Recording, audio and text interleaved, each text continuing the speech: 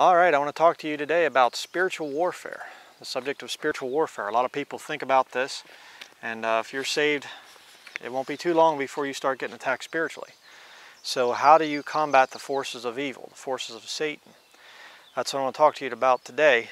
And uh, we're out here, there's a 100% chance of severe thunderstorms, and there's still some blue sky up here, but uh, over here it's starting to get kind of dark. So Lord willing, we'll be able to finish the sermon outside but uh, if it starts to get, uh, the storm starts to come, we're to have to go inside. So let's start out here in Ephesians chapter 6. Of course, this is the, probably the most well-known portion of the King James Bible, the New Testament for a Christian, when it comes to spiritual warfare. Ephesians chapter 6.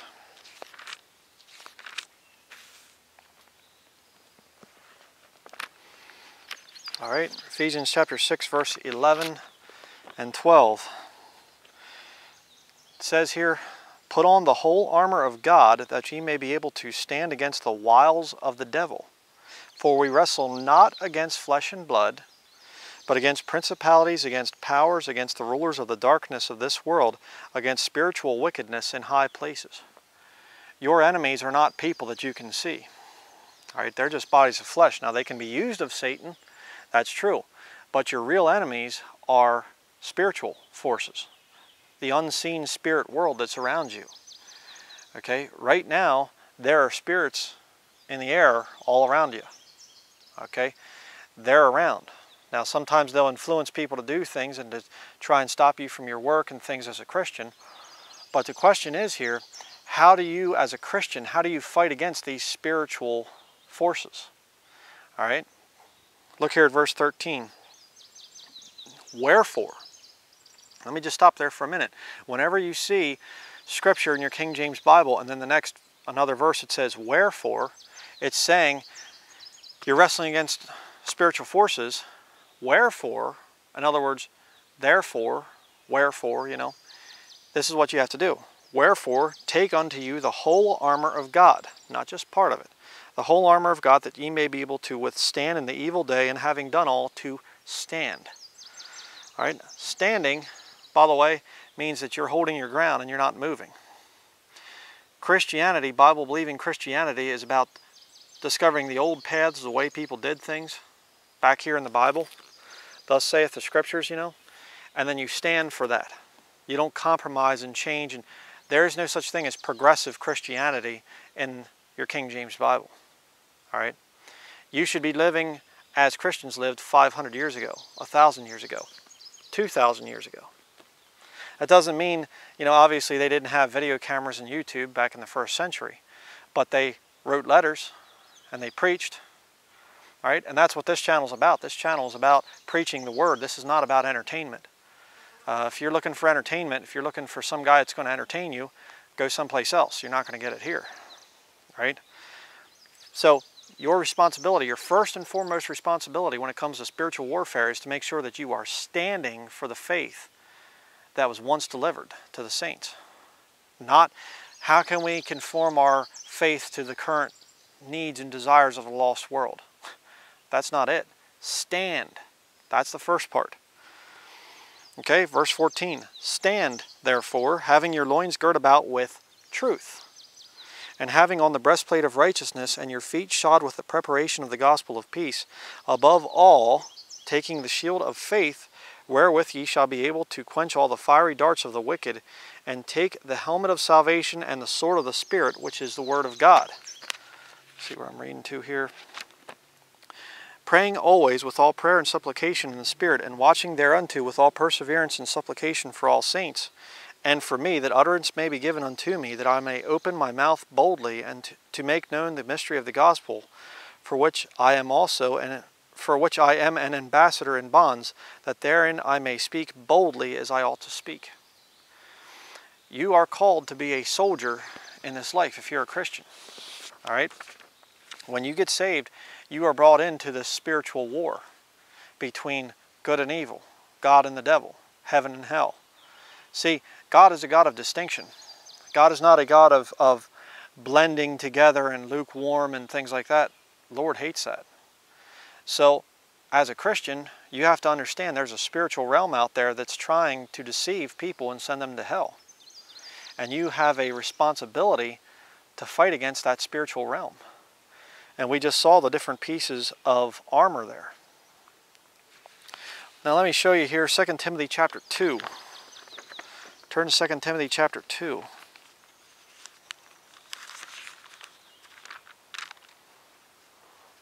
Second Timothy chapter 2 verse 1.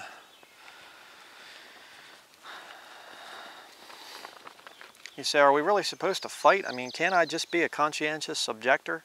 Can I, can I be a pacifist in this battle? Kind of stay off the, the lines of battle and just kind of, you know, if I, if I don't bother the enemy, maybe they won't bother me kind of a deal? No. 2 Timothy chapter 2, I'm sorry, 1 Timothy. Or wait, am I in 1st or 2nd? Sorry, not quite with it here today. 2 Timothy chapter 2. I'll get it yet. Verse 1. Thou therefore, my son, be strong in the grace that is in Christ Jesus, and the things that thou hast heard of me among many witnesses, the same commit thou to faithful men who shall be able to teach others also. Now look at verse 3 here. Thou therefore endure hardness as a good soldier of Jesus Christ. No man that warreth entangleth himself with the affairs of this life, that he may please him who hath chosen him to be a soldier. And if a man also strive for masteries, yet is he not crowned, except he strive lawfully. Did you know that there's a lawful way for you to serve the Lord Jesus Christ and an unlawful way to do it? You see, the unlawful way for you to do the work of the Lord is to use the world's techniques and the world's ways. To be like the world to win the world, you know, that whole thing, that's not of the Lord.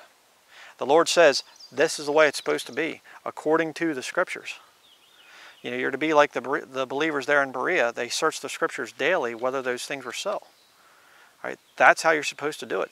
Come back to the sword of the Spirit.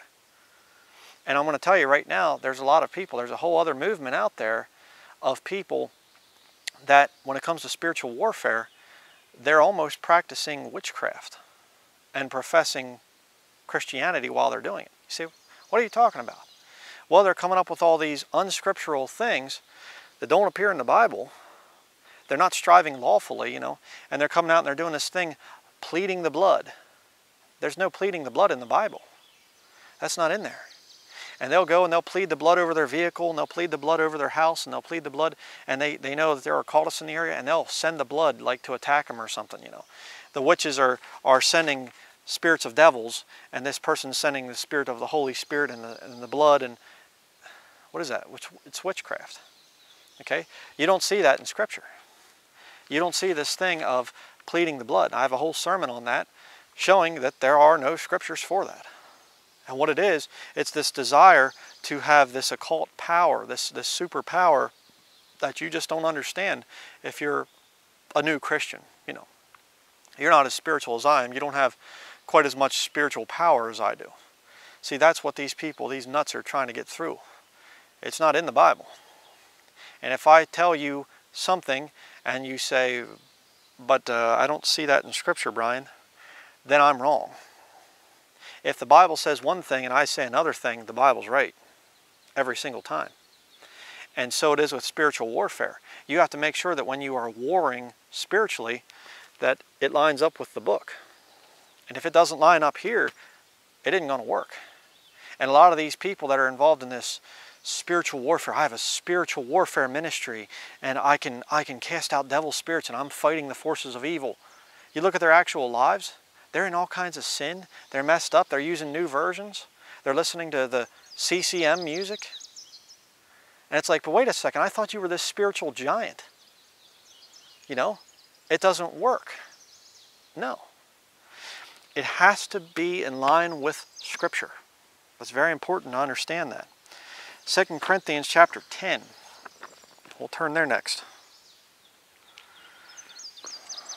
And here's where we're going to start getting into the key to spiritual warfare in your life.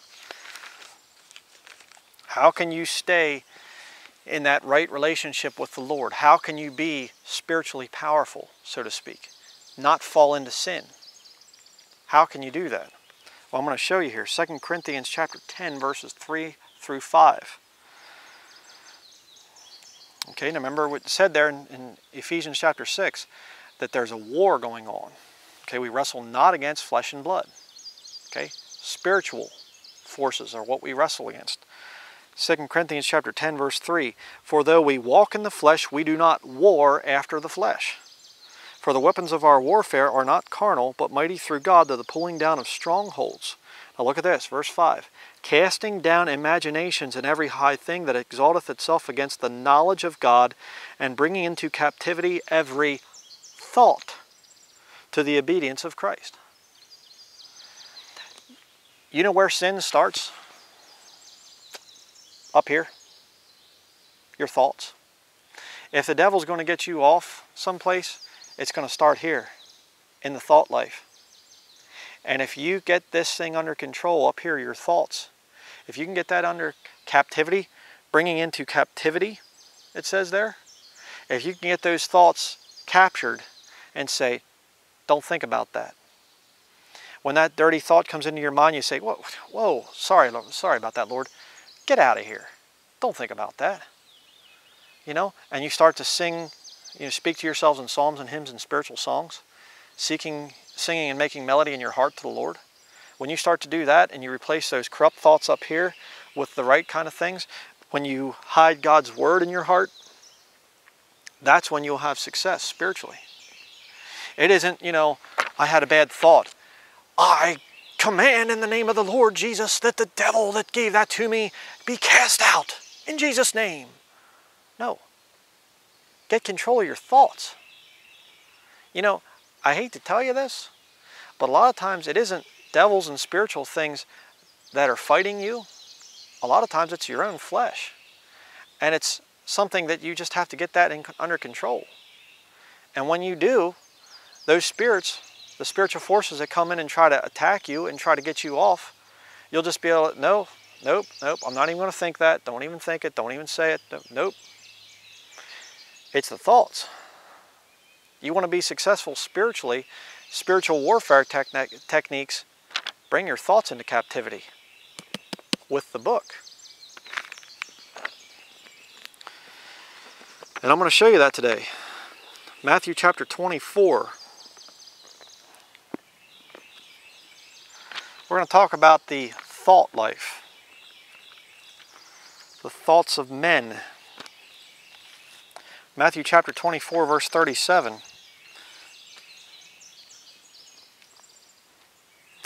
Okay, it says here, But as the days of Noe were, so shall also the coming of the Son of Man be. Now, N-O-E, there is your New Testament form of the word Noah. So as the days of Noah were, so too uh, so shall also the coming of the Son of Man be. So the last days are characterized by it returning to the way it was in the days of Noah. What was going on back there in Noah's day? Turn to Genesis chapter 6. Genesis chapter 6 and verse 5. You're going to see, as you study the Bible more and more, and you look at the way the world is, and you look at things and, and whatever, you're going to find that many times the world really hasn't changed that much. You're going to see that. Like uh, King Solomon said, there's no new thing under the sun. You know, there are different forms of things. In other words, they didn't have cell phones 200 years ago, but it's still communication. People always had ways of communication, of communicating with each other. There are different ways to communicate, but it's still communication. What about transportation? 200 years ago, there weren't any such things as airplanes or automobiles or whatever. You know, but they're people saw out ways of getting from point A to point B. Things really haven't changed that much. And even more so with man and the sinful nature that is in man. And the thought life of people today is very similar to the way it was back there before the flood. Let me show you. Genesis chapter 6 verse 5. And God saw that the wickedness of man was great in the earth. Is the wickedness of man great in the earth right now? Yes and that every imagination of the thoughts of his heart was only evil continually. Sounds pretty much like today, doesn't it?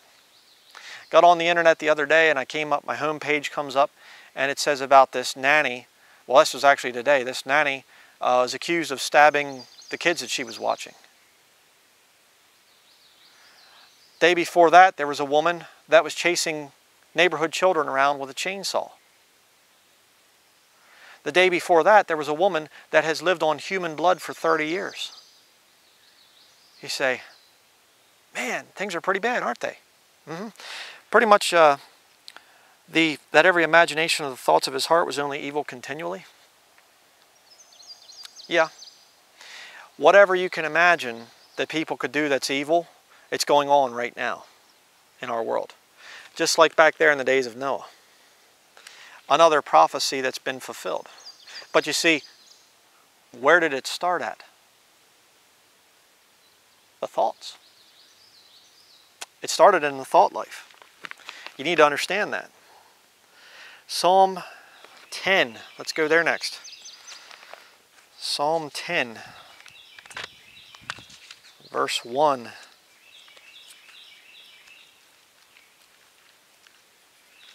I always have to laugh when I hear people say that, you know, the King James Bible's old, it's archaic, it's outdated, no good for today. That's just like saying, you know, I'm ignorant, you know, please help me. I mean, that's, that's what the people are really saying.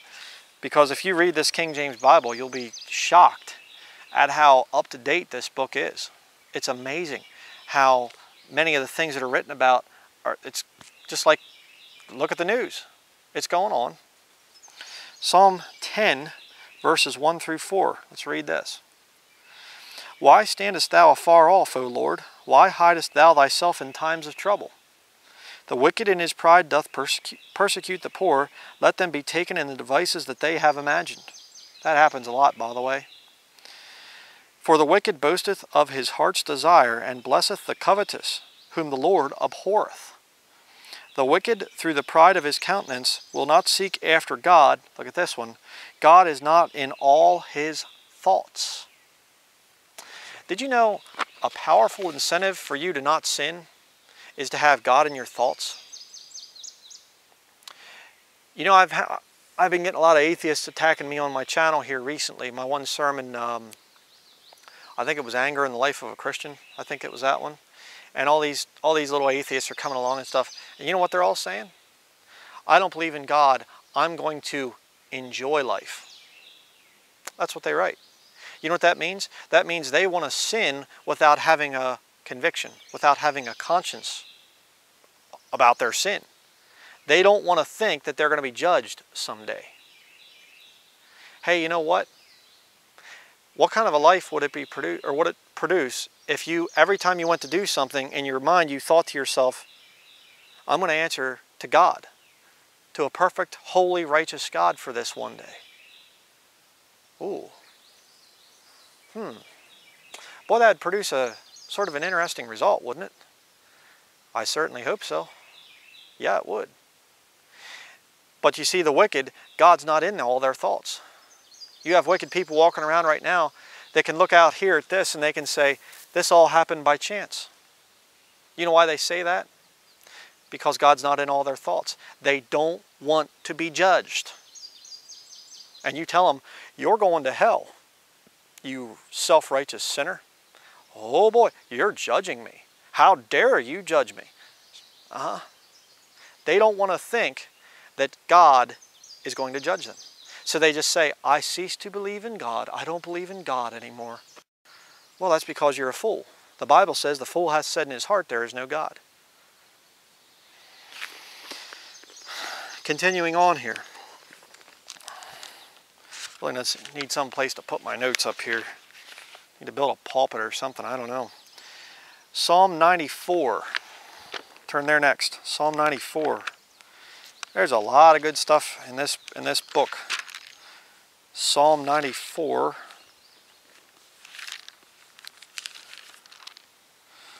Okay, and we're going to read verses 11 through 16. I'll show you some interesting things here.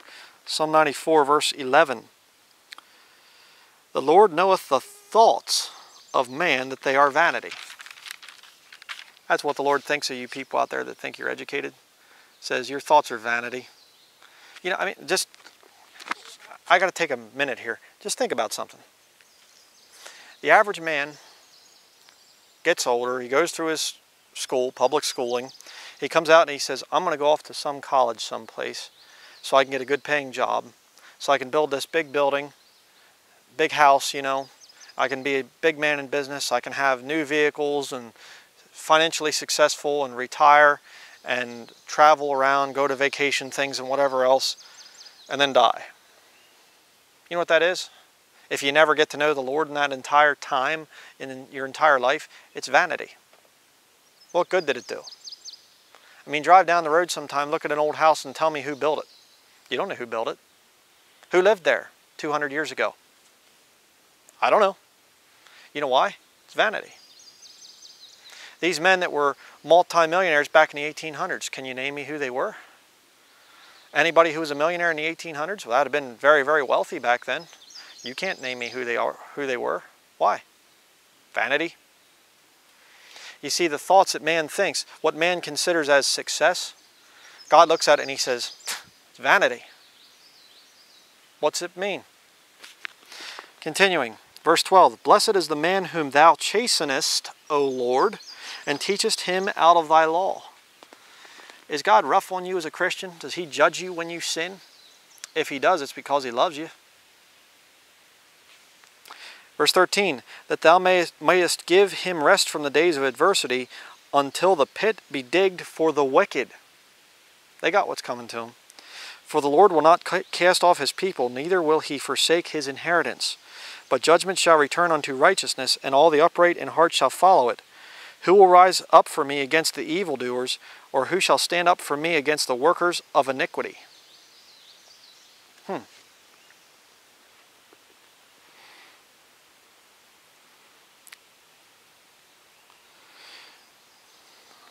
You know, that's a question you need to ask. You know, when it comes to spiritual warfare, yeah, you're going to be attacked spiritually, but you're also going to have to fight against evil. And the way that you're going to have to do that, the very first and foremost thing is you got to get control of your thought life up here. You can't be taken in by the vain things of this world. If you fall for the deceitfulness of riches, you're going to fall. You're not going to get too far. All right. Let's go next to Psalm 119. Now this is a the biggest chapter, if you will, in the Bible, even though it's a psalm. But this is the biggest chapter in the entire King James Bible. And interestingly, it's not about salvation. It's not about Jesus Christ. It's not about uh, the love of God. What's it about? The Word the Bible, God's laws, Scripture. That's what it's about. These people say, oh, you're a bibliolater because you put so much emphasis on the King James Bible. I'm supposed to. Yeah. And I'm going to show you why. There's some very interesting things in here. Psalm 119, verse 9. Wherewithal shall a young man cleanse his way? By taking heed thereto according to thy word you have problems as a young man with lust, with sin, with covetousness, you know how you cleanse your way? By taking heed to this book. This book will get you out of your problems, get you out of your trouble. Not psychiatry, not anything else like that. The book. Look at verse 11, Psalm 119, verse 11. Thy word have I hid in mine heart, that I might not sin against thee. So in other words, if you want to have victory over the spiritual realm, you want to fight spiritual warfare, it's the book. It's not learning some kind of special formula that you can send the blood to attack the devils before they get you. That isn't it. Scripture. And if you get some nut out there that's telling you here's how you fight the forces of evil and you can pray and you can fast and you can do all this stuff and he's using a new version from the Vatican, uh, you're dealing with a guy that hasn't quite arrived. All right, not saying that somebody like that isn't saved. There are people out there that are ignorantly using the new versions. They don't know any better. But I'd get real, real suspicious if somebody like that would be presented with the Bible version issue and they would reject the King James. I'd get real suspicious about somebody like that. Okay? Psalm 119, verse 36. says here, Incline my heart unto thy testimonies, and not to covetousness. What do you think most about during the day? Covetousness? You know, those thoughts that lead to vanity? Or do you think about the Word of God? Do you meditate upon Scripture throughout the day? You better. Luke 12, verse 15 says, And he said unto them, Take heed and beware of covetousness, for a man's life consisteth not in the abundance of the things which he possesseth. Beware of covetousness. Not, hey, kind of, you know, you might want to kind of watch out. Beware. That's, you know, saying that there's a serious danger in covetousness. All right, look at verse 38. Psalm 119, verse 38. Establish thy word unto thy servant who is devoted to thy fear. The fear of the Lord is the beginning of wisdom. You have God in your thoughts all the time where you're fearing God. He'll, he will establish His word in you. And you'll say, Well, I can't do that. Oh, why not? Oh, come on, are you afraid? Well, yeah, I am afraid of God. And I can't do that because you see, the Bible says, and you turn to it. You don't say, there's a devil of alcohol that's about to attack me, and I'm going to plead the blood and send it. Begone, devil of alcohol! In the name of Jesus, you know. No, you just simply say, I won't even let that thought get into my head. No, I don't think so. Because the Bible says no. That's how you fight the spiritual world. Look at verse 42, Psalm 119, verse 42 says here, So shall I have wherewith to answer him that reproacheth me, for I trust in thy word.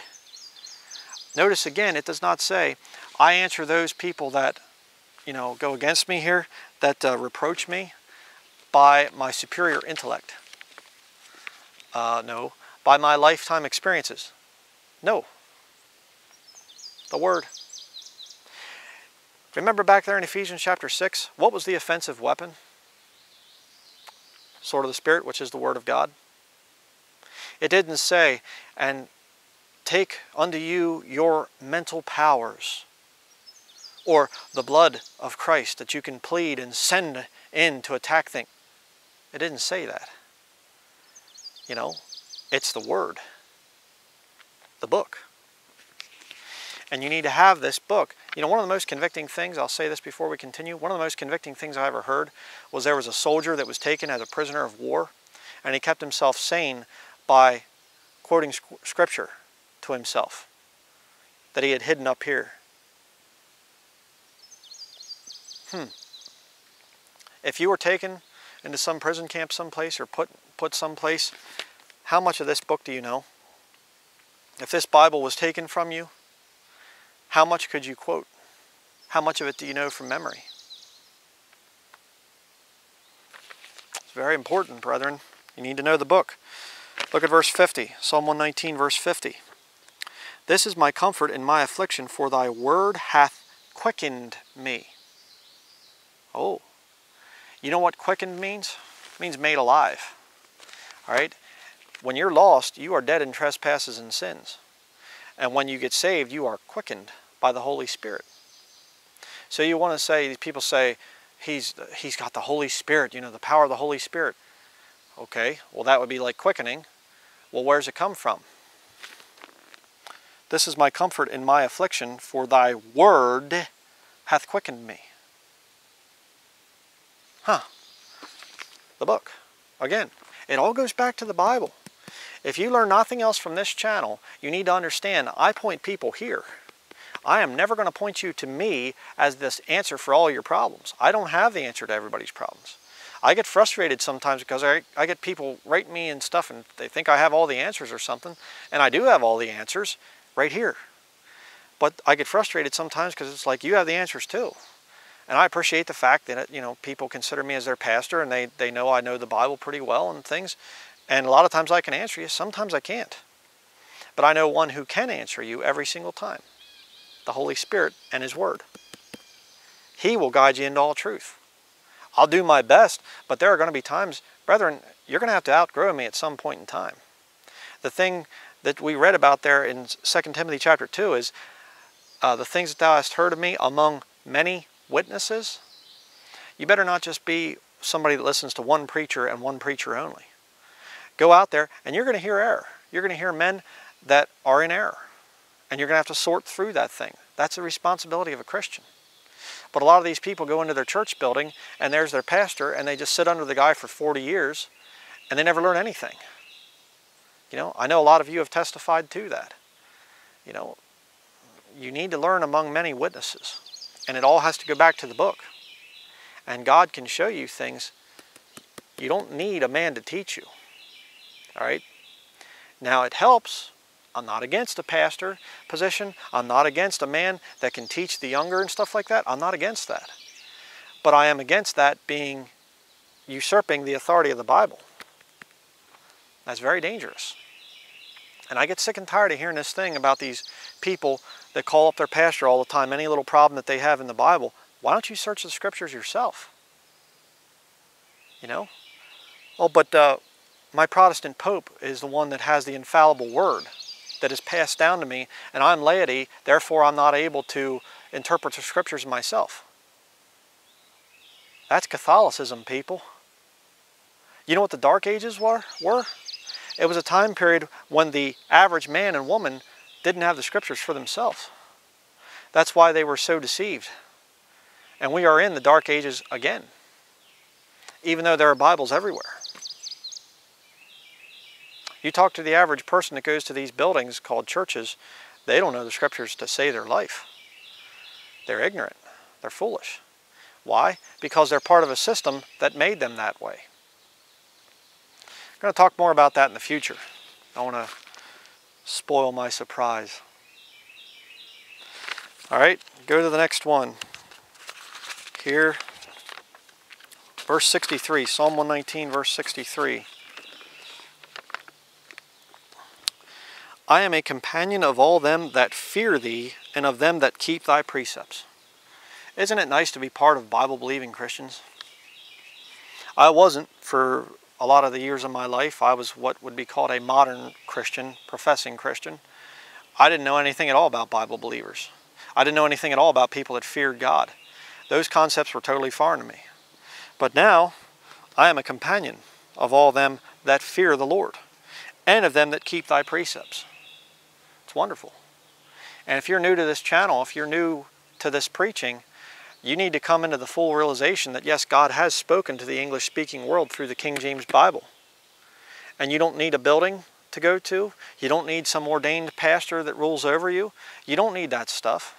You can have a personal relationship with Jesus Christ and the Holy Spirit can guide you into all truth through the book without a seminary education, without any of that other junk. You don't need that. You need to have a living, personal relationship with Jesus Christ, and you can have it. It doesn't cost you anything but your time. Oh, and your reputation, you know, among the lost world, which who cares about that anyhow. But when you get into this group of King James Bible-believing Christians, that's when you've discovered the truth. If you're outside there and you're still using a new version, well, you're using a, a corrupt Bible that comes from the Vatican. And the Lord's, yeah, He can kind of work with you if you're ignorant in that, but He's going to eventually draw you out of that. He can't fully bless you using a Vatican version. He can't. Don't talk to me about it. I used an NIV for 15 years. I know. All right? Don't tell me, oh, you're raised, born and bred in a King James only cult, you never knew anything else. Wrong.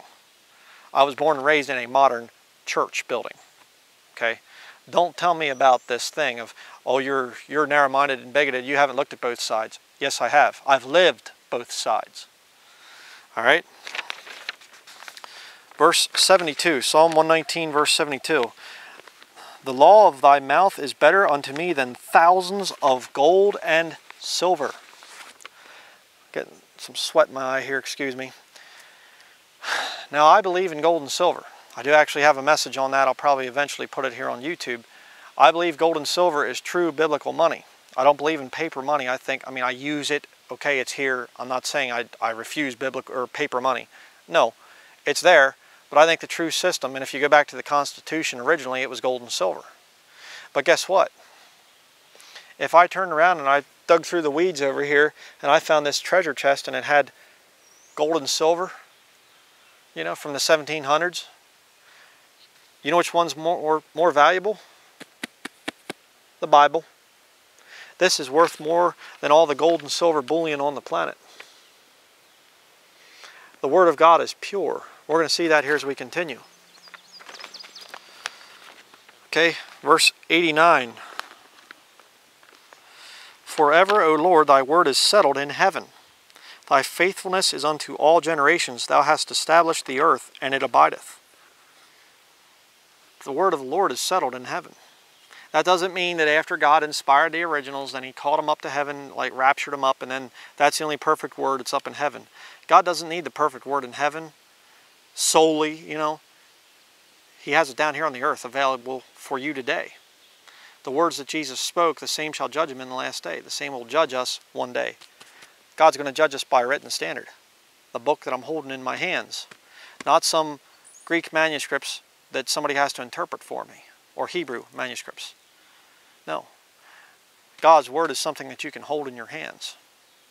And he settles it, he confirms it and says, that's my book. Use it. Look at all these other saints that used it and you can see the fruit that it produced. You can know what my word is. You don't have to wonder. King James Bible. Look at verse 97. Oh, how love I thy law! It is my meditation all the day. Thou through thy commandments hast made me wiser than mine enemies, for they are ever with me. We wrestle not against flesh and blood, but against spiritual powers. Hmm. Are the spiritual powers ever with you? Yeah. Think about that just for a second here before we continue. Do you see any people here behind me? Islamic terrorists or, or uh, you know, whoever, whatever other kind of physical enemies we might have as Americans? No then how could their enemies be ever with us? Unless they're spiritual. See? Continuing, verse 99 there. I have more understanding than all my teachers, for thy testimonies are my meditation. You know, there are PhDs out there that don't know the Bible like a lot of uneducated Christians, you know, hillbillies. a lot of Christians out there know the Bible better than men that have PhDs and THDs. Verse 100 I understand more than the ancients because I keep thy precepts. I have refrained my feet from every evil way that I might keep thy word. I have not departed from thy judgments, for, for thou hast taught me how sweet are thy words unto my taste, yea, sweeter than honey to my mouth. Through thy precepts I get understanding, therefore I hate every false way. You know how you can tell if something is a false way and if you should hate it or not? The Bible, the King James Bible. You don't need to, to say, well, my opinions, well, I think, I, does it line up with Scripture? You see, that's how you can fight off the forces of Satan. That spiritual wickedness there. You can fight that stuff off by knowing the Word of God. By having that sword of the Spirit so ready it's just there all the time. And here comes a spirit in and he says, why don't you watch that thing on TV? No, blam.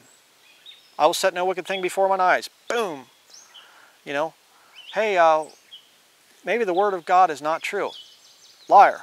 Yea, let God be true and every man a liar. Bam. Just all the time, that sword's ready. The sword of the Spirit's ready to go, ready for battle. All the time. That's the way it's supposed to be. You're supposed to hate every false way. You know, one of the biggest draws of the lost world is to try and get you to compromise. They'll say things like, well, the Bible's a good book, but you, you can't live totally by the Bible. You know, I mean, you know, you, you, you got to compromise somewhere. Uh-huh. No, you don't. Hate every false way. Hey, could you take it easy? Maybe, you know, maybe take it easy on the Catholics. Maybe you shouldn't be so obnoxious and maybe you should kind of be a little bit softer. No, the Bible says I'm supposed to hate every false way. Uh, you're supposed to speak boldly. You're supposed, supposed to speak the Word of God without compromise. It's how it's supposed to be. And you wonder why a lot of people fail. It's because they back off on this book. That's why. Psalm 105 Thy word is a lamp unto my feet and a light unto my path. You know when the world gets dark, the way you find your way through that world is with the light of God's word? Yep. Very important. Psalm 1, 119 verse 113. Psalm 119 verse 113 through 115 says, I hate vain thoughts. Remember what we said earlier about the thoughts of man are vanity and you should hate covetousness and things? See how scripture ties all together? I hate vain thoughts, but thy law do I love. Thou art my hiding place and my shield. I hope in thy word. Wouldn't it be something if we didn't know what the future held? You know, if we didn't know, if this book didn't say anything at all about heaven or the millennial kingdom or the pre-tribulation rapture, boy, things would be pretty hopeless, wouldn't it? But you see, we do know about those things. We can hope in the Word of God. Very interesting. Verse 115 Depart from me, ye evildoers, for I will keep the commandments of my God. You don't really have to worry about spiritual wickedness if you're keeping the commandments of God. And by the way, that's going to be next week's sermon. What, which ones of the Ten Commandments are we supposed to keep as Christians? Okay, and are there commandments for New Testament, excuse me, New Testament Christ, Christians? Having some hiccups here. I'm going to show you next week what commandments are given for a New Testament Christian. Okay, Psalm 119, verse 125 through 128. There's a lot of good stuff in this in this chapter here. I am thy servant, give me understanding that I may know thy testimonies. It is time for thee, Lord, to work, for they have made void thy law. Therefore I love thy commandments above gold, yea, above fine gold. Therefore I esteem all thy precepts concerning all things to be right, and I love every false way. Uh, it doesn't say that. I compromise with every false way. Uh, no, it doesn't say that either. Um, I overlook every false way because it would cost me money if I stood against the false ways? No, it says, uh, I hate every false way. Hmm. And by the way, if you're there and you're saying, well, that's the Old Testament, you can find the same thing in the New Testament. You can say that we are supposed to hate evil. Okay? It's right there. Let's see, where are we at here? Jump down to verse 130, Psalm 119, verse 130.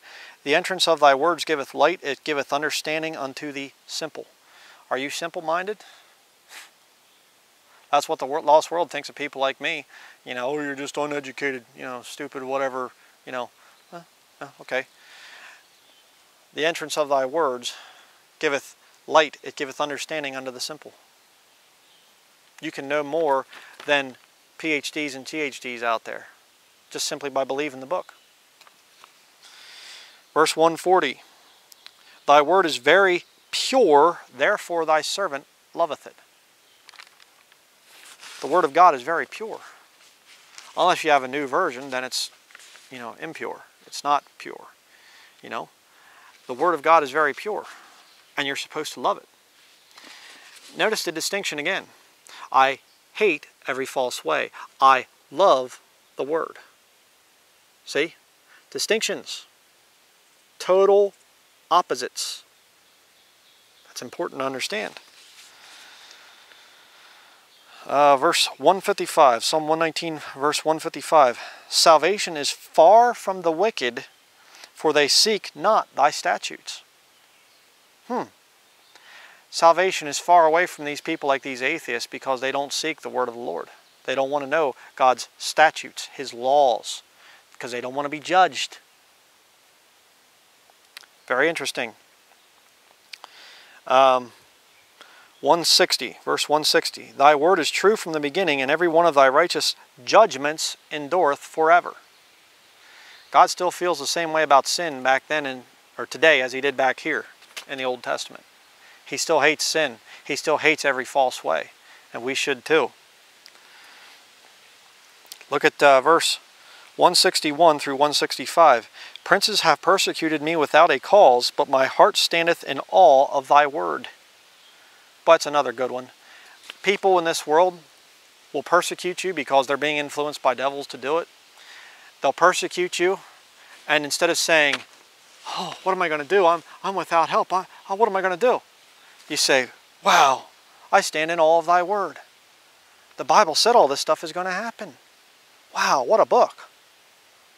Who cares? People persecuting you and whatever else, family, co-workers, presidents, whatever, you know. The, some general here recently came out and was attacking Bible-believing Christians and stuff. I don't care, whatever. I stand in awe of the Word of God. You want to call me some kind of terrorist or fanatic or something because of the book? That's your problem. Whatever. Verse 162, I rejoice at thy word as one that findeth great spoil. Now again, you know, it's like I said, find a chest of gold and silver coins over here from the 1700s or something, you'd be rejoicing then. When's the last time you rejoiced when the Lord showed you something out of his book? It's like finding great spoil. I mean, think about that, brethren. The God of heaven speaks to you through His Word and relates something in Scripture to what you're going through in your life. What greater joy can there be than that? God in heaven speaking to you. You know? And you get these people, you know, they, they see the Publishers Clearing House or something like this, and they come to the door and they have you knock on, you know, they, there's a knock at the door and you come in and hey, you win $10 million, you know, hey. And people go, wow, imagine that. It's nothing compared to God showing you stuff out of this book. There's no amount of money that can compare to knowledge of this book and understanding of this book. Verse 163, I hate and abhor lying, but thy law do I love. All those nasty distinctions again. Verse 164 Seven times a day do I praise thee because of thy righteous judgments. Hmm, there's another thing. Great peace have they which love thy law, and nothing shall offend them. You want, want to know another reason why a lot of Christians get off into the wrong areas? Because they get offended. Well, I just don't think that you should have said that about, you know, my business or my, my house or my, my money or covetous or or whatever, you know, I, I just, uh, I'm offended. You know why you're offended? Because you don't love the law of the Lord. You don't love His Word. You know, and it's funny too because did you ever see somebody that you hit them with the sword of the Spirit and they kind of fall back and, oh, oh, they got, you see they got offended and then they don't control the thoughts up here and it turns into bitterness and then they come out and they're trying to get you any way that they can. And they're trying to attack you. What's going on there? They're not controlling their thoughts. Okay? They're not bringing every thought into captivity to the obedience of Christ. God is not in all their thoughts. They don't fear the Lord. They don't read the Word. And as a result, they come after you. And the devil comes along. I hate to tell you this, Christian, but some of the worst enemies you're ever going to find in your life are professing Christians. In fact, the worst. All right? The worst enemies I've ever seen in my life have been professing Christians. And some of them are saved. That's the worst part. There's a lot of them out there that are lost. Some of them are saved. Why are they attacking me? Because they don't get things taken care of up here in their mind. The Bible says that you're to forgive each other. Instead of forgiveness, they get bitterness. And then they turn and they go and they actually go out there and the Bible talks about a root of bitterness springing up and many being defiled therewith. And they'll go out and they'll spread things and lies and stuff and ugly things around about you. Mm-hmm. Hey, you say, Bryan, but you have, you've offended me. That's why I have to expose you, because you have offended me. Great peace have they which love thy law, and nothing, nothing nothing shall offend them. Hey, if somebody's wronged you, you know the best thing for you to do? Move on. Oh, but I want to dwell on it and just, just let it simmer and, and boil, and, and I, that's all I ever want to think about in my brain. Okay, then you'll amount to nothing. Move on. Move forward. You got work to do for the Lord. Don't dwell on that stuff. Psalm 119, or I'm sorry, we're moving on from Psalm 119. Psalm 139. Turn there next.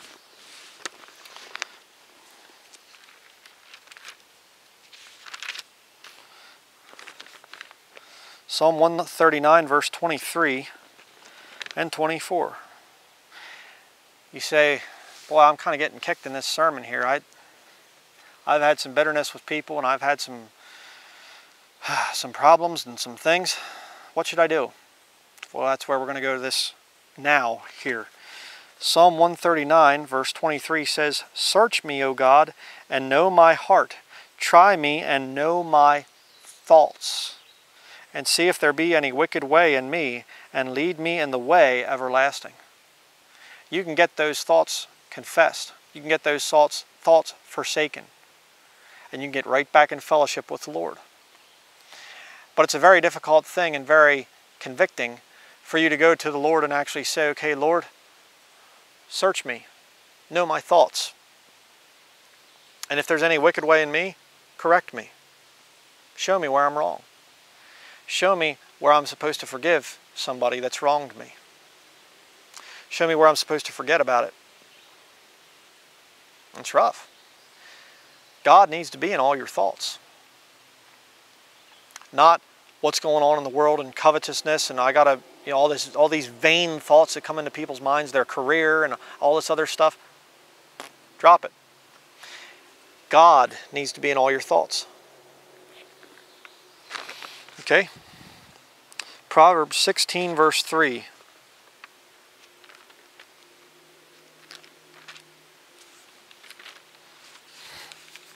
Proverbs chapter 16. You say, but man, I'm just having a hard time with my thought life, Bryan. I, I'm just really having a difficult time with it. Well, here's your solution. Proverbs chapter 16, verse 3 Commit thy works unto the Lord, and thy thoughts shall be established. Huh. You know one of the best ways to fight the addiction to pornography is? Commit your works unto the Lord and your thoughts will be established. That's very important. If you get so busy studying the Word, I mean, go out and get the MP3 recordings of Alex, Alexander Scourby or maybe even the old CDs or whatever you want and just play that thing over and over and over and over again. Just the Word of God playing over and over and over again. Listen to the right kind of music, the old hymns, you know, uh, the old rugged cross and onward Christian soldiers and amazing grace and how firm a foundation and the old hymns like that. Listen to that. Just fill your mind with it. Say, okay, Lord, I'm going to go out. I don't have the bravery right now to actually give the tracts to the people, but I'm going to go out and I'm going to make sure I'm going to go to a mall and I'm going to put tracks in books or in whatever else. I'm going to go out tracting. I'm going to work my way up. I'm going to start witnessing to people. You're committing your works to the Lord. He'll establish your thoughts. I guarantee it. I guarantee it. You commit your works to the Lord, He will establish your thoughts. It's right there. Isaiah 55.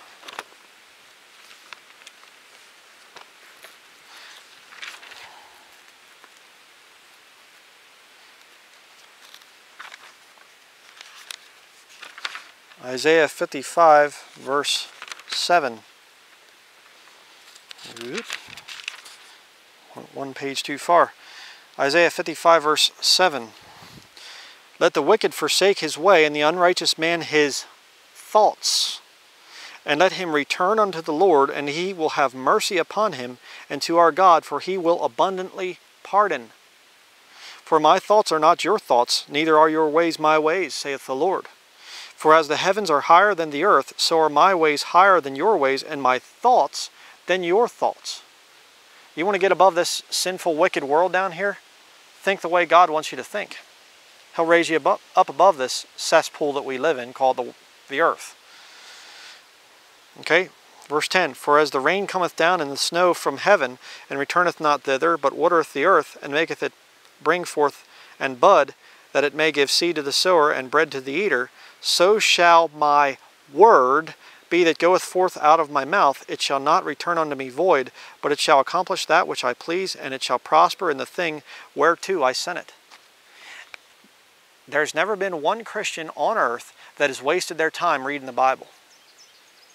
There's never been one Christian on earth that has wasted their time passing out a gospel tract. There's never been one Christian on earth that has wasted their time reading scripture to a lost relative. You cannot waste your time with the book. You're never going to get to a point, a point in time where the Lord's going to say to you, I really wanted you to go fishing out one day or hiking in the mountains or out watch a movie or something, a Hollywood movie, but you had to waste the whole day reading my word. Why'd you do that? You're never going to hear that from the mouth of the Lord Jesus Christ. Not going to happen. You cannot waste your time with the book. You can't. Can't be done. When wasting your time comes in is when your thoughts are going to vain things. Your career, your big mansion. I'd really love to have that new vehicle that I don't need. Those thoughts are vanity. You know what every new vehicle turns into? An old vehicle. You know what every new house turns into? An old house. You're not going to find a house down here that you can build and never needs any maintenance. You're not going to find a vehicle down here that you can buy and it's maintenance free. They're all a waste of time. They're all just a rolling pile of junk. So what are you getting all worked up about that for? Hmm? This is really truly the only thing eternal on this planet, physical possession that you have, the book. Anything else, you know, there's other things. I mean, hey, you want to come out and you want to walk around in nature and stuff like that and, and, respect what God's made for you. You want to enjoy the day, spend some time with your wife and your kids if you have them and stuff. You want to you want to go out and spend time with family and go fishing or something. There's nothing wrong with that. I'm not condemning that. I'm not saying that you just have to be in the Bible all the time. I'm not saying that. But you know what? if you know the book, it'll be with you all the time. When you go out in nature and you're walking along and you'll say, wow, look at that plant there. Look at that flower there. I mean, here, look at this. You know, the Bible says to consider the lilies of the field, that Solomon in all his glory was not arrayed as one of these. This is a weed,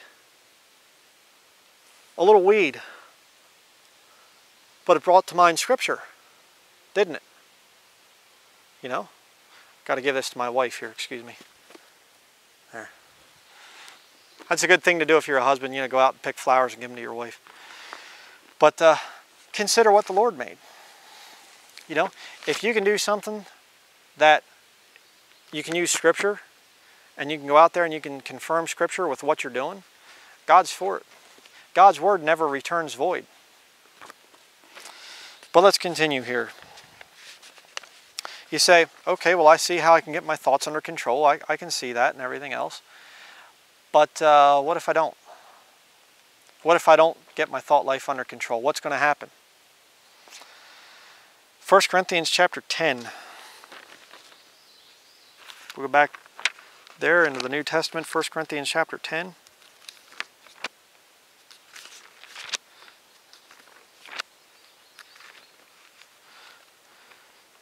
I'm going to read a, before we read here, I want to read a worldly philosophy. I think this was Ralph Waldo Emerson or something like this. Um, but it's a very good quotation here. He says, quote, sow a thought and you reap an action. Sow an act and you reap a habit. Sow a habit and you reap a character. Sow a character and you reap a destiny. Ah, very true. Might have been a worldly philosopher, but he had that thing right. You see, it starts out here in the thoughts. And when you sow a thought, that leads to an action. That action leads to a habit. Habit leads to character, and a character will lead you to one of two places heaven or hell.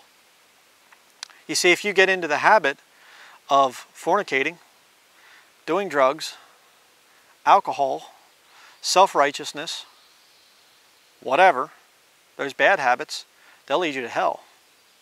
If you get into the habit of prayer, witnessing, reading your Bible, that will produce the kind of character that'll get to heaven. Of course, you you know believe on the Lord Jesus Christ.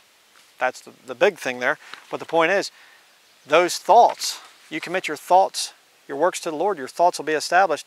God is in your all your thoughts. That leads you to heaven. All right? And it'll lead you into, into the kind of a life that God can bless and God can use. But let's read here 1 Corinthians chapter 10, verses 1 through 11.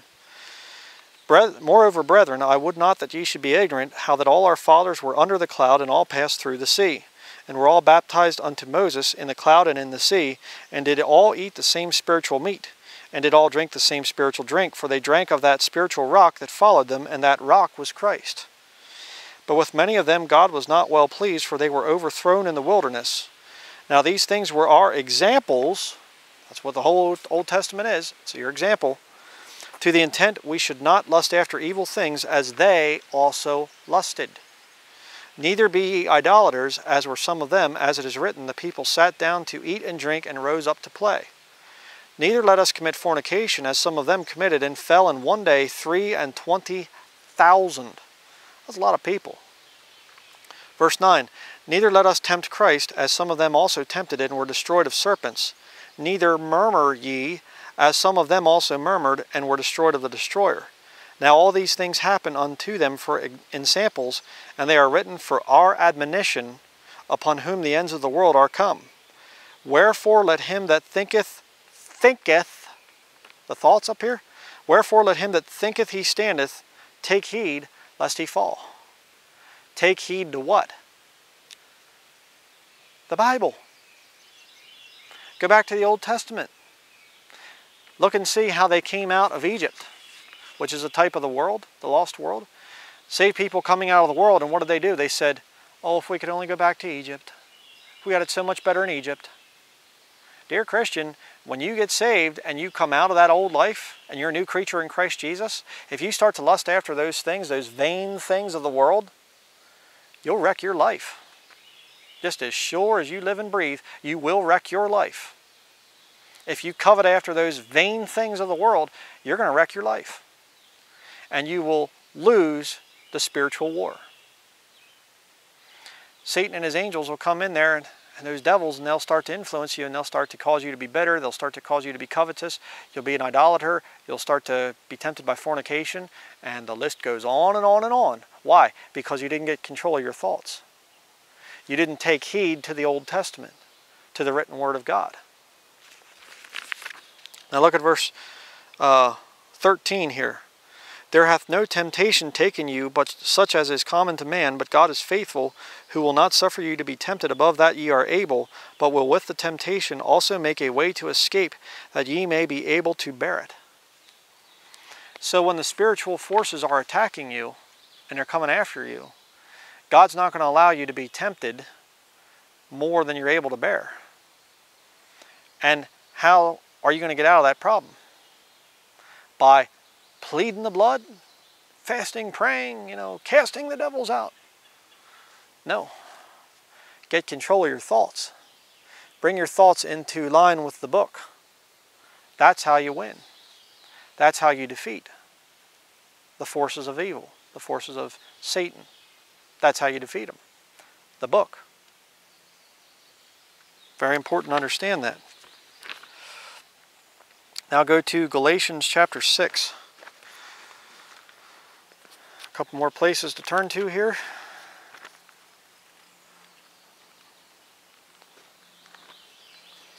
Uh, it's getting darker, but so far we haven't been rained on, so praise the Lord for that. Galatians chapter 6, verses 1 through 5. Brethren, if a man be overtaken in a fault, ye which are spiritual, restore such an one in the spirit of meekness, considering thyself, lest thou also be tempted. Bear ye one another's burdens, and so fulfill the law of Christ. For if a man think himself, think, did you get that? Think himself to be something when he is nothing, he deceiveth himself. But let every man prove his own work, and then shall he have rejoicing in himself alone, and not in another. For every man shall bear his own burden. you're going to have to bring those thoughts into captivity. There is work for you to do as a Christian I can't help you with. Okay? I can try to point you to different scriptures and things like that. I can preach to you and show you what the Bible says, the things that were committed to me among many witnesses. I can also commit to you so that you can go out and teach other people. But when it comes right down to it, brethren, you're going to bear your own burden. You're going to have to get through this life on your own, you and the Lord. You can't hide behind a preacher. You have to deal with God directly, the two of you, through His book. We say, I'd like to have a vision, and the Lord spoke to me in the night in a vision, and and then you say, what was the vision? And it's totally contrary to the book. Uh-uh. No, no, no, no, no. God will speak to you through the book, written scripture. Very important to understand that. Look at verse 6. Galatians chapter 6, verse 6 through 9 says here, Let him that is taught in the word communicate unto him that teacheth in all good things. Be not deceived, God is not mocked. For whatsoever a man soweth, that shall he also reap. Remember the thing about sowing there? You, uh, I'll read it again here. Sow a thought, you reap an action. Sow an act, and you reap a habit. Sow a habit, and you reap a character. Sow a character, and you reap a destiny. Don't think that you can sow to the flesh and it won't come back. It will. Verse 8 he, For he that soweth to his flesh shall of the flesh reap corruption, but he that soweth to the Spirit shall of the Spirit reap life everlasting. And let us not be weary in well doing, for in due season we shall reap, if we faint not. Hmm. Down here in this world, brethren, you're going to be attacked all the time. There is no, you know, R and R, or there's no uh, place where you can go where you're not going to be attacked. This looks like a peaceful place right here. You know, there's no groups of people coming after me and attacking me or anything physically. Nobody protesting me right now. But I'll tell you what, if I let my thoughts go to pieces up here, the devil can attack me right here. I don't have to be in center city of New York or someplace at a, at a sodomite pride rally or something like that to be attacked. Uh-uh. It can happen anywhere. You know, my foes are ever near me. It's just the way it is. And if I allow those thoughts to start going wrong and to start getting messed up, I've already lost. I'm already starting to lose the spiritual war. And it's just a matter of time before I start to sin. I'll start to sow to the flesh. See? But it starts in the thoughts. That's so important to understand that. Okay, one more place to go to here. Philippians chapter 4.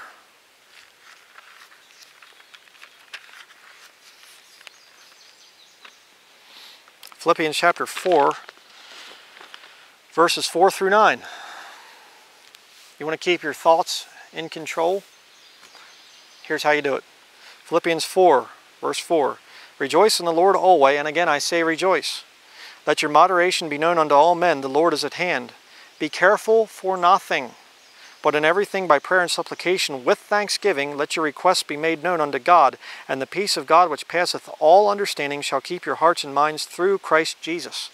Finally, brethren, whatsoever things are true, whatsoever things are honest, whatsoever things are just, whatsoever things are pure, whatsoever things are lovely, whatsoever things are of good report, if there be any virtue and if there be any praise, here we go, think on these things. Get the thought life under control. Think on these things. Verse 9, those things which ye have both learned and received and heard and seen in me, Paul writing there, do, and the God of peace shall be with you. The key, brethren, to spiritual warfare is not fasting and pleading the blood and all this other stuff. That stuff, you know, fasting I agree with. I, I, I do believe the Bible teaches prayer and fasting, you know. But a lot of this stuff, it's about the thoughts. And if you're going to fall to pieces as a Christian, it's going to start up here. Why? Because you don't have this book in there. You're not spending enough time in the Word. I, the quickest way for you to destroy your life as a Christian, brethren, and I've seen this thing, I've had it happen in my own life, is you put down the book. You put it down for a little while and you say, well, oh man, I didn't have my devotions, but uh, ah, I'll do it later. I'll do it later. I, I just, man, I don't have time right now. You know, I have to, I have to get to work. I have to do such and such. Hey, you know what the Bible says? The Bible says, David speaking back in, in Psalms, he talked about that the words of the Lord are more to be desired than food, his daily meat, his daily bread. The book is more important than eating. This book is more important to you, should be more important to you than anything else on this planet. And if you forsake this book, you're going to fall apart. Oh, not me, brother. I'm a, I'm a Bible believer. I've been saved for 20 years now, and I'm a strong Christian. Wherefore let him that thinketh he standeth take heed lest he fall. You can fall. Think about the children of Israel back there in the Old Testament. Here they are, God brings them out of Egypt, all these signs and wonders and all this stuff, and, and there's God, you know, in a, in a you know, cloud during the day and a, and a pillar of fire at night and stuff, you know, and, and there's, you know, they can see the manifestation, physical manifestation of God right there, and they fell. Why? God wasn't in all their thoughts. They allowed the old thought life to go back to those vain things of the world, to go back to Egypt where they had it good. Mm -hmm. You start to forsake the things of the Lord, the book, you're going to fall apart. Guaranteed. You say, how do I have spiritual power, spiritual warfare? By putting on the whole armor of God and taking the sword of the Spirit. You need to have this thing to be part of your daily life. It's very important. Let's close with a word of prayer. Dear Heavenly Father, I just thank you for holding off the rain here today, and, and I just pray, Lord, for those out there that they would stay by their King James Bibles, that uh, if they'd hear these false prophets out there that are, that are trying to attack the King James and trying to take them back to the Vatican versions and mix them up all with all these questions and strifes and contentions of words as your, as your Bible warns about, I pray, Lord, that those King James Bible believers would, would see the real true deception behind that, the philosophy that's there, and just avoid them. Lord, we don't have to uh, speak in the ears of fools, for they'll despise the wisdom of our words, as your Bible says. And answer not a fool according to his folly, lest thou be also like unto him. You know, the, your word talks over and over and over again about these people that come and attack your word and how we're just not even to have anything to do with them. And so I just pray, Lord, for those Bible-believing Christians out there that are watching this, that they would not be sidetracked that they would not get off into the lusts of the world, but that they would stay by your word and stand strong no matter what happens. And Lord, if there's anybody watching this that does not believe in the King James Bible, I pray you would show the truth to them if they are saved. If they're not saved, I pray they would get saved and uh, come to you as a repentant sinner. And I just, um, I pray all of these things in the name of our Lord and Savior, Jesus Christ. Amen. All right that's going to be it. Real lovely day out here. And, uh, you know, you ought to spend some time. I've had this question a lot, by the way. I'll just say this in closing. I've had this question a lot. People say, you know, what am I supposed to do for entertainment? Oh, I don't know. You know, maybe you go for a walk. You say, well, I live in the city. Okay, drive and then go for a walk consider moving to the country. Just a thought, you know. If you're always around this lost sinful world, it's going to drag you down. The Bible talks about Lot being, you know, that he was vexed with the filthy conversation of the wicked, vexed day to day with their unlawful deeds. If the Lord's called you to be in a place like that, well, okay, you know, stay there, work there, or whatever. But you're going to have to work extra hard to be in the book to not get discouraged, to not get off where you shouldn't be. Uh, you'll have a lot easier time if you get away from that lost, sinful world. Sometimes you need to come out and uh, smell the roses, you know. Sometimes you need to come out and look at what God's made. Look at the flowers, look at the plants, look at the trees, look at the birds. Hear the birds singing. Breathe in the fresh air. Sometimes you need to do that, brethren. Okay? And if you don't, and you're in a place, and I, you know, let me just say this too. A lot of these places, a lot of these bigger cities now, they have this wireless internet thing, this Wi-Fi. You don't know what kind of stuff's going through your head, and you can't even help it. You know, right now we are at a tremendous disadvantage from the Christians in the first century in that there's, right now, there's television waves going right through me. There's radio waves, there's internet, there's cell phones, there's electric, there's all this stuff. It's bad. And I'll tell you what, I get in near cities and stuff, my mind starts to really get cluttered. And I know that I need to be away from that to keep myself sane. You know, uh, as time goes by, brethren, I think it's going to be more important for Christians to get out, at least into a country type area. I'm not saying that far out into the mountains as you can go. I'm not saying that, you know, but I'd try to get away from some of those cities, okay? Because I get, I get stuff from people in the cities and they're having a lot of problems spiritually. I imagine you would, living among that lost culture all the time out there. I mean, I go out shopping at regular stores and it's so vexing anymore. You know, uh, brethren, we're not invincible. Yeah, we're, we're bought and, and stuff by the blood of Jesus Christ. God's cleansed us from all sin. I understand that. We have the Word of God, the perfect Word of God in the King James Bible, but you're not invincible. You are still prone to wander, prone to sin. And if you're out there and you're just all the time around that lost world and all the time around it and hearing it and hearing the music and everything else, I mean, do you ever go to a store and they have the rock music playing and it just is, you're just going, what was I going to get? I, I don't, man, I can't think it. Get away from that environment as, as much as you can. You need to come out to a place like this once in a while to keep your sanity and remember God's in control. You know, look at the flowers. Look at the look at the, look at what God made. Consider the heavens. Look up at the sky at night. Consider those things. Consider what kind of a God it is that you worship. All right? If you don't, and you get away from the book, you're going to fall apart. I'm warning you. So that's going to be it. Thank you for watching. And uh, next week, like I said, I'm going to be talking about the Ten Commandments. Do we have to keep the Ten Commandments today? Are there other commandments in the New Testament for a Christian? So, thank you for watching.